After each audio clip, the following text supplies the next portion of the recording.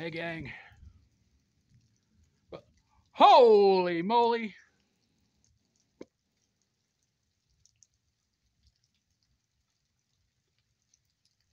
I'm sorry. I'm real, so, real sorry about that. Sorry. Oh man, I, I'm so, I, I hope you're okay. I hope I didn't hurt. I don't hope I didn't hurt your hearing or anything. I, oh, wow. Five seconds.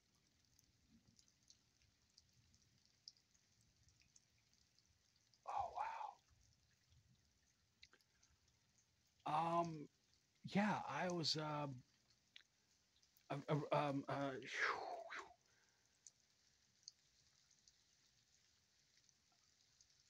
um, yeah, uh, I was gonna tell you guys why I was recording this video. It's you know not be not to just to hopefully get some good lightning shots, but uh, hearing about uh, I'm not even, I don't even have a watch on.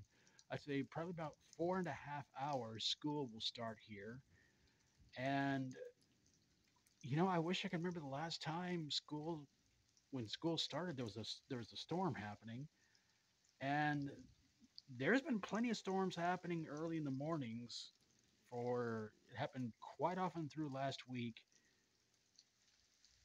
And it still hasn't cooled anything down so that's kind of a darn shame.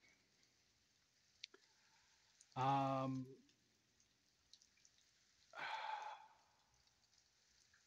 so yeah. No idea if the storm's going to hang around till kids are getting ready to get on the bus which around here i've, I've heard kids get on the bus somewhere between 5.30 to 6 a.m and that's that's pretty early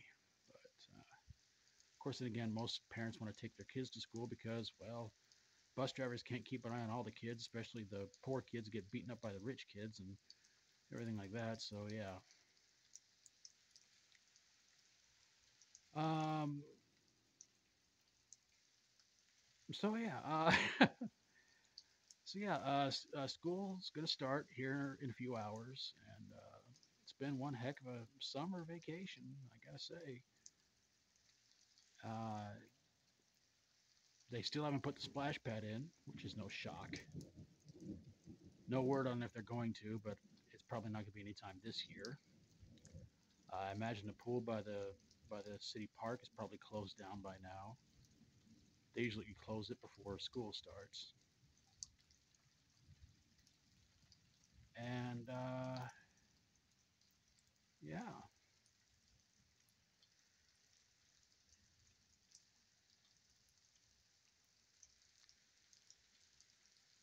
So, can we get a little bit more lightning, please? Careful, kitty, careful.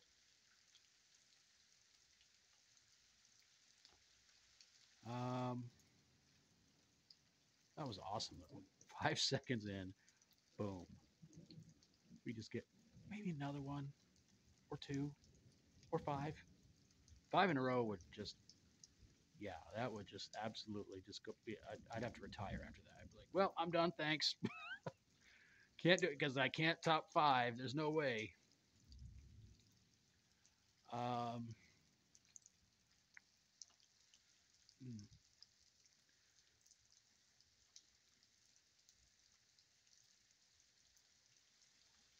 gotta be frightening. Why did see five lightning bolts shoot straight down to Walmart?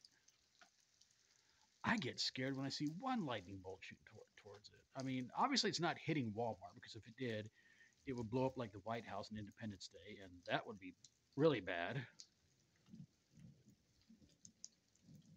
because then Sonic would go and I would probably go with it. That wouldn't be a lot of fun.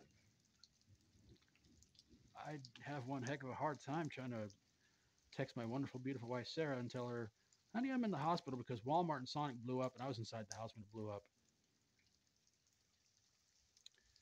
Don't ask me how I got here. I have no idea.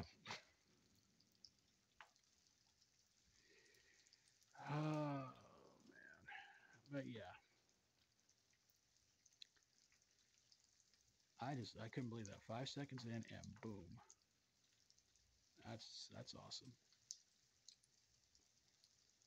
Just one more or two?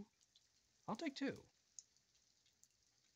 They don't have to be at the same time. Just one, after, just one, and then about a minute later, another one. That'd be great.